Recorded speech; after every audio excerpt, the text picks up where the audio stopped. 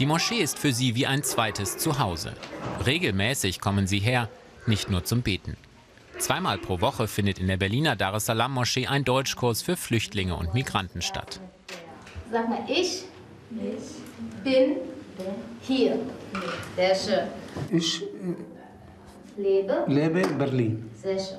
In seiner Heimat Syrien war Muatas al-Hamwi Pizzabäcker, bis er vor dem IS fliehen musste. Seit gut einem Jahr ist er in Deutschland. Ich komme schon lange zum Beten in diese Moschee, aber ich will auch Deutsch lernen. Als ich dann erfahren habe, dass es hier auch einen Sprachkurs gibt, habe ich mich sehr gefreut.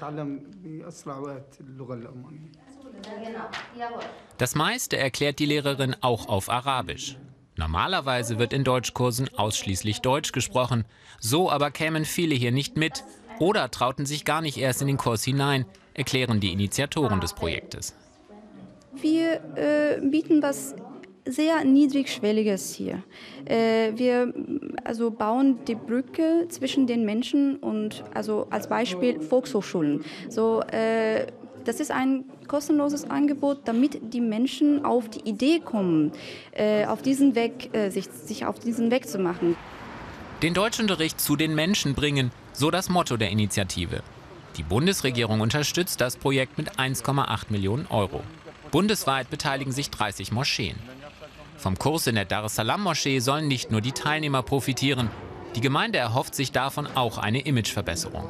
Seit hier 2014 zwei islamistische Prediger auftreten durften, wird die Moschee vom Verfassungsschutz beobachtet.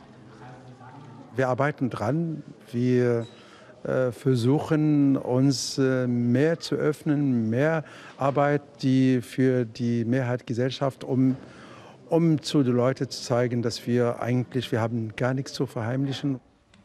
Zwei Jahre soll das Sprachprojekt für die Neuankömmlinge erst einmal laufen und wenn möglich Schule machen.